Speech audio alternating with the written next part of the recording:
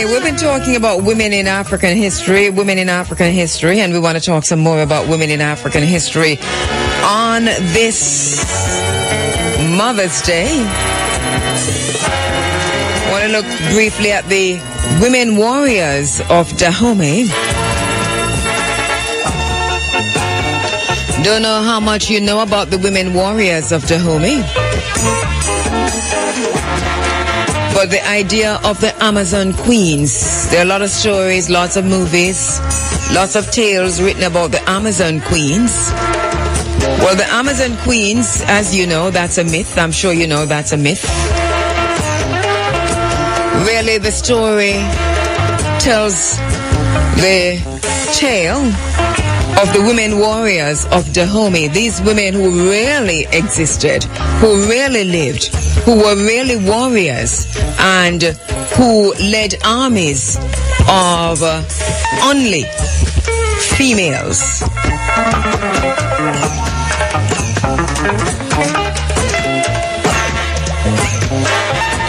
History is rife with the tales of fighting women. More often than not, these stories prove more legend than the history.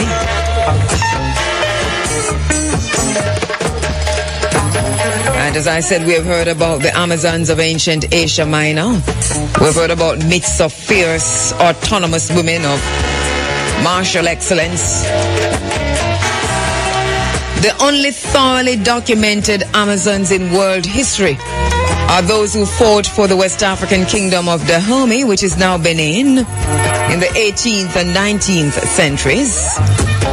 They were originally palace guards. The Dahomean women, warriors, they were called Mino, M-I-N-O, meaning our mothers. And we salute the Dahomean warrior women, Mino, our mothers. They evolved into royal bodyguards and by the 1760s and 1770s, they evolved into professional troops armed mainly with muskets, machetes, and clubs. We salute their leader, Sheng Dong Hang Theoretically, these women were so into celibacy. They enjoyed a semi-sacred status and numerous privileges.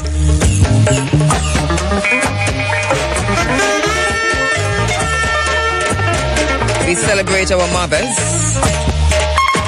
the women warriors of Dahomey this morning. In the 1840s, the number of Amazons, the number of Minos swelled from hundreds to as many as 6,000 as Dahomey sought to offset a large manpower advantage, woman power advantage, held by its chief trading rivals, the Yoruba of southwestern Nigeria.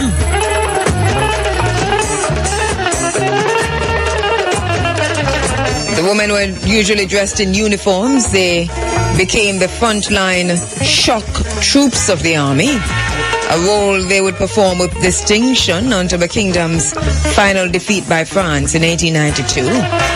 They served in their own units under their own women officers with their own marching bands, flags, and insignia. Intensively trained, they outdrilled, outshot, and outfought their more numerous male count- comrades. They were renowned for their ferocity and their fearlessness.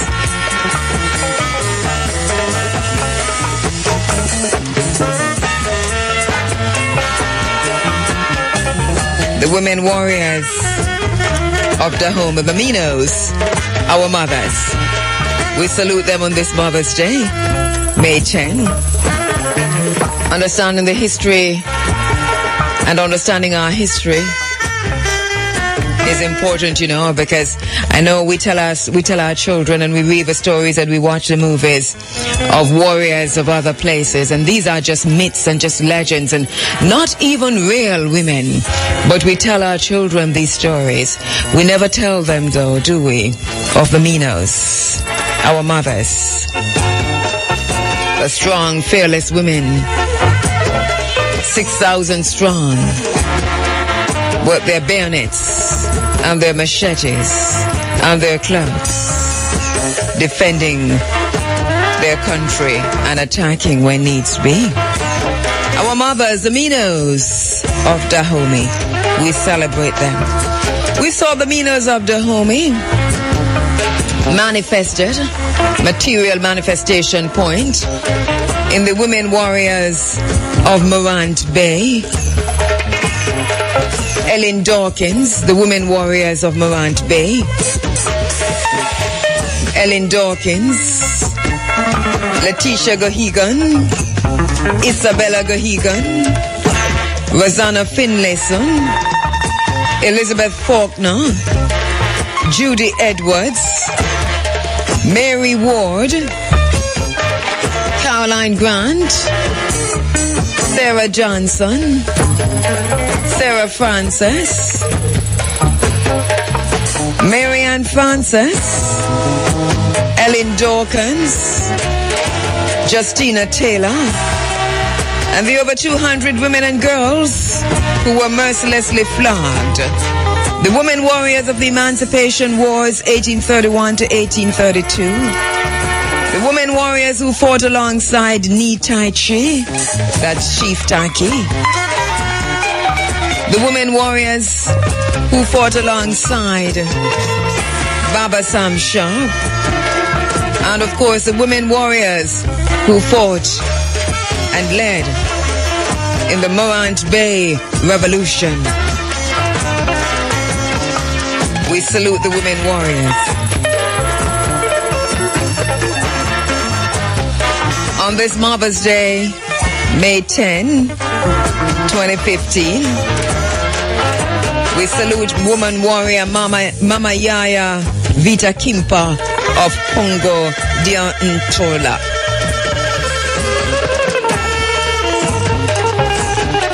Yaya Vita Kimpa.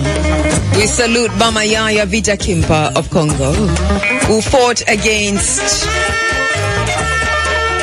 the enslavement of the mind through European and Eurocentric Christianity, the religion of the colonialists, and the system of imposed rule of Europeans, which led the suffering of black people at the hands of the colonizers. Mama Yaya Kimpavita was a prophet and a leader in the Congo Empire. She started her own Christian movement, Antonianism. And in this movement, they taught that Jesus and other early Christian figures were from the Congo Empire.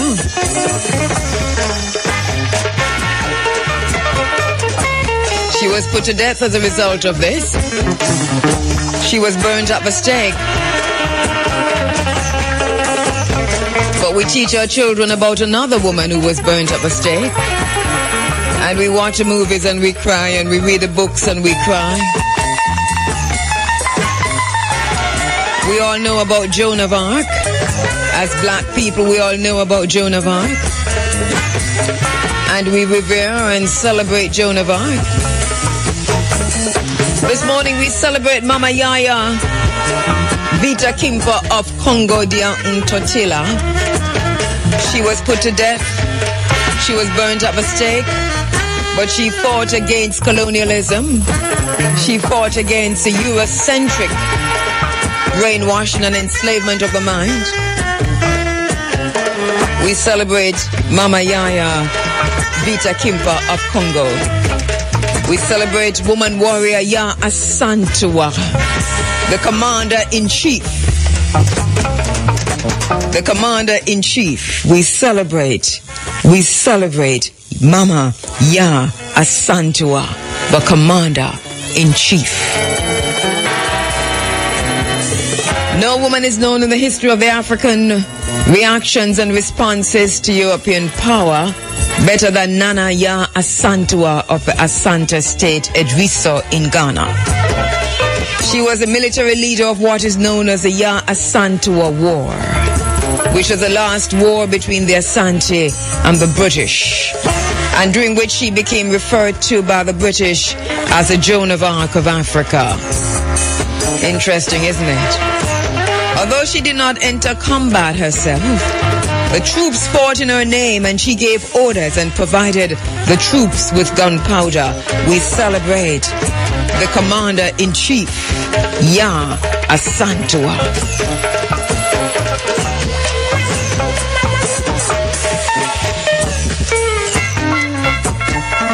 We celebrate the women in the Garvey movement. Amy Garvey and Amy Ashwood Garvey. We'll talk about them in a little while. We celebrate Winnie Mandela. We celebrate Mama Winnie Madikizela. On this Mother's Day, we celebrate the Mother of Africa. We celebrate Queen Nzinga.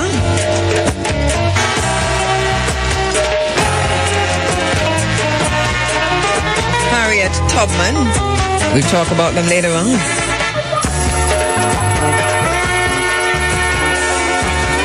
We celebrate our sister in exile in Cuba, Assata Shakur.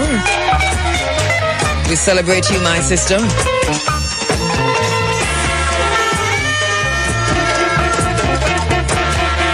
Of course, we celebrate Queen Nanny of the Maroons.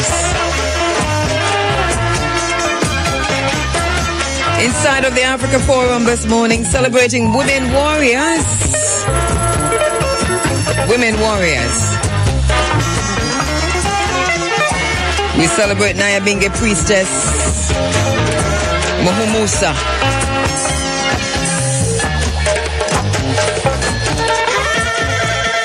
Celebrating the woman they call the mulatto solitude. In May 1802, while a few months pregnant, our sister, who they call the mulatto solitude, took part in the Guadalupan uprising against the reinstatement of Lacrosse, who had been appointed Captain General of Guadeloupe by Napoleon Bonaparte and expelled in October 1801 following a coup by the army's officers of color. After her arrest, Solitude was imprisoned and subsequently tortured, possibly to death. A day after giving birth, we celebrate Solitude. Solitude symbolizes all Caribbean women and mothers who fought for equality and freedom from slavery. We celebrate Solitude. Pregnant as she was, pregnant as she was, she knew that when the house was burning down, it was no use beating the tom-toms. We celebrate Empress Taitu Betul, formidable queen and empress of Ethiopia, astute diplomat, key figure in thwarting the Italian imperialist designs on Ethiopia. Later, she and her husband, Emperor Menelik II, led a huge, a huge army to battle at Adwa, where they won one of the most important victories of any African army against European colonialist aggression. We celebrate Empress Taitu Betul, celebrating women, celebrating women warriors on this Mother's Day.